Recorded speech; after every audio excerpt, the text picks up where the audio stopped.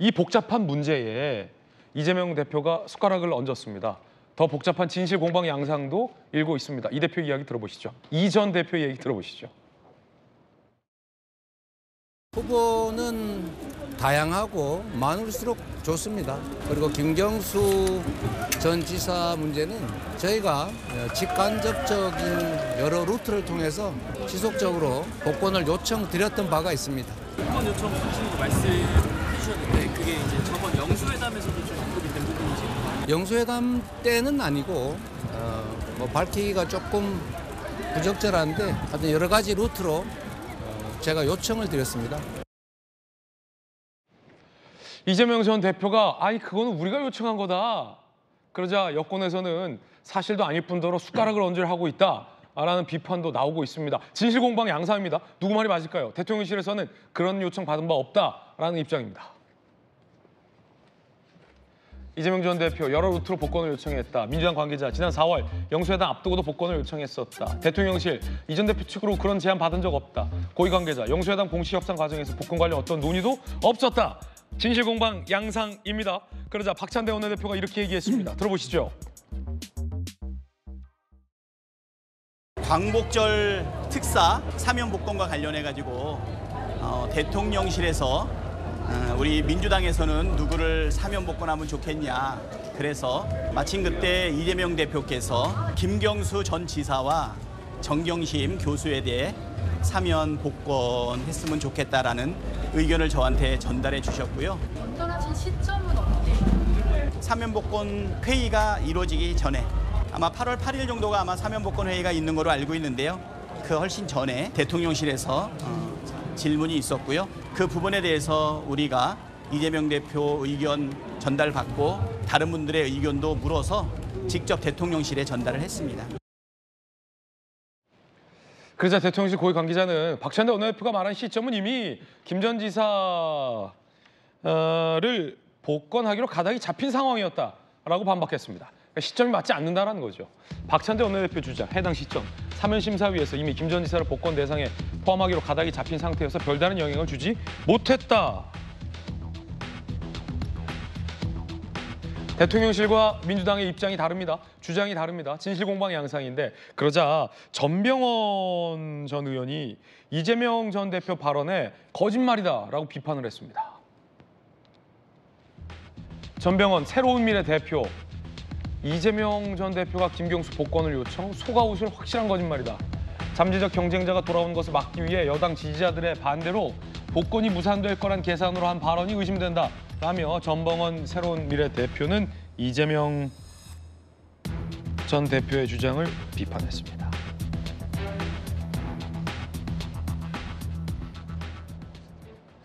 새로운 미래 관계자들한테 이야기를 들었는데 이 장면을 뽑았습니다.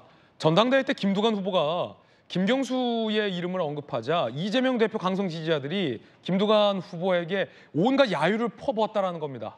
강성 지지자들이 이렇게 야유를 퍼부는데 이재명 전 대표가 김경수 복권을 요청했다라는 말은 믿을 수 없다라는 게 새로운 미래 쪽 관계자의 전언이었습니다.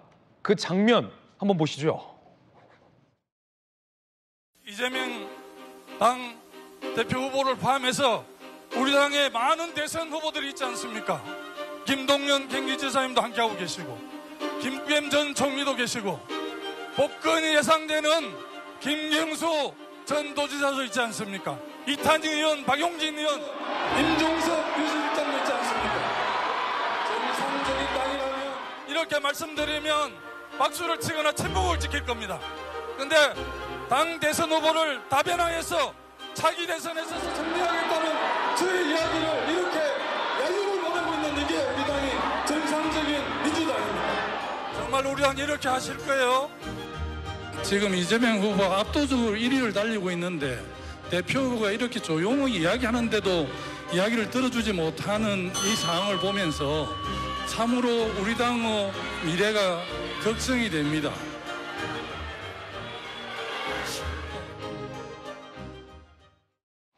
일단 정혁진 변호사님, 네. 한동 대표가 반대하면서 김경수 전 지사를 복권하냐 마냐에 굉장히 어떻게 보면 민감한 정치적으로 민감한 이 시점에 이재명 전 대표는 왜 이른바 여당의 표현대로 하면 숟가락을 얹는 듯한 아 그거 우리가 요청했었는데 라는 발언을 했을까요? 진실 공부하는 차치하고 글쎄요. 그런데 저는 저 김경수 복권이 명분도 없다라고 개인적으로는 생각하고요. 제가 뭐 정치적 뭐 그런 것도 모르고 네. 그러니까 생각이 짧아서 그럴 수는 있는데 실리도 없다고 생각을 해요. 왜냐하면 지금 실리는 뭐냐? 여야 협치가 되는 거 아니냐? 그런데 얼핏 보면 그게 그런 것 같이 보여요. 왜 그런 것 같이 보이냐면 이재명 대표 이제 이재명 대표 예정자가 확정자가 뭐라고 말씀하셨습니까?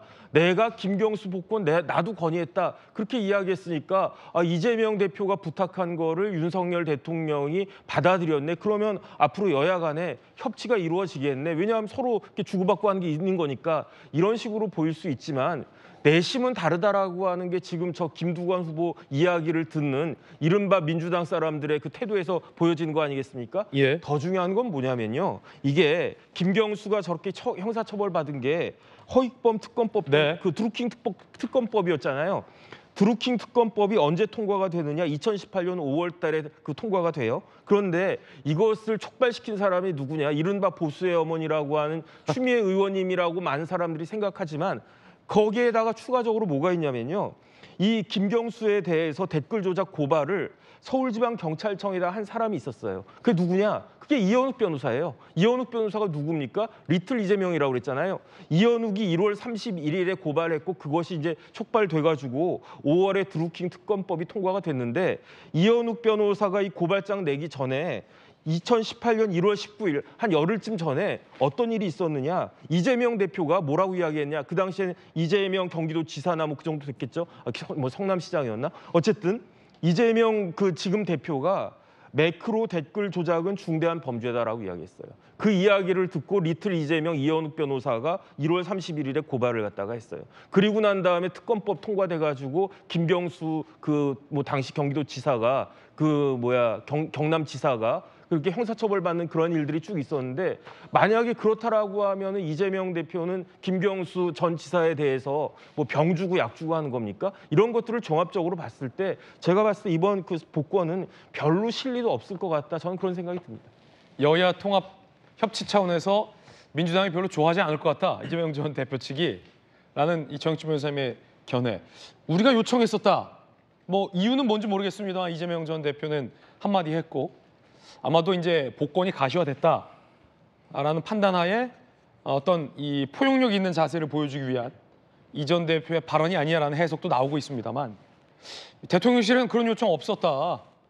뭐 예의상 물어볼 수는 있었습니다만 그 전에 이미 우리의 타임 플랜대로 결정해서 간 것이지 이게 뭐 이 전 대표의 어, 요구를 우리가 요청을 하고 받아들이고 말고 한 문제는 아니다 라는 진실 공방 양상이에요, 약간 김영주 예. 의원님. 사실은요 이 문제를 바라보는 시각이 실리라는 단어가 들어가는 순간 안 됩니다. 굉장히 위험한 말씀하십니다. 그러면 대통령실이 여러 가지 실리적 관점에서 이 김경수 복권권을 만지작거리고 있다. 그 있을 수 없는 일이고 이 일은 누가 보더라도 탕평의 일입니다. 서로 대선을 앞두고 격돌을 했기 때문에 나도 좀 우리 편도 실수한 게 있고 당신 편도 실수하니까 한꺼번에 한번 털, 텁시다. 묻고 따지지 말고 그런 부분으로 가야지 실, 실용적 관점 뭐 무슨 실리적 관점에서 하는 순간 이것은 전혀 국민들 눈높이에 안 맞는 얘기라는 말씀을 먼저 드리고 싶고요. 네. 이재명 대표가 대통령실에 이- 뭐 이야기를 했는지 안 했는지는 알 수 없습니다. 다만 문제는 이런 거예요. 여론조사 기관에다가 한번 물어봅시다. 이재명 대표가 실제로 김경수 사면을 시킬 것일까요? 안 시킬 것일까요? 물어보면 안 시켰다고 얘기할 사람들이 더 많을 것이라는 게 문제입니다. 이 전 대표가 김경수 네. 복권을 요청했을까요, 안 네. 했을까요 물어보면 그 정도 되는 사람이 박용진을 공천을 안 줘? 어, 이제 이런 얘기가 있을 수 있습니다. 다만 다른 관점에서 법사위원들, 예컨대 서영교 최규나 이런 사람들이 실질적으로 법사위에다 법무부에다가 정치인 사면에 대한 의견을 전달합니다. 그리고 민주당 측에서 뭐 이재명 대표가 개인이 하지 않더라도 김경수 사면에 대한 저는 요청이 있었다고 봐요. 예. 그러나 그걸 이재명 개인의 뜻으로 볼 거냐 안 볼 거냐의 차이가 있지만 이재명 대표가 가져야 될 문제는 뭐냐면 내가 아무리 실제로 그랬다 하더라도 진짜 국민들이 그렇게 믿지 않는다 그런 문제가 있는 것이죠. 예. 김경수 복권과 관련된 복잡한 이야기 전해드렸습니다.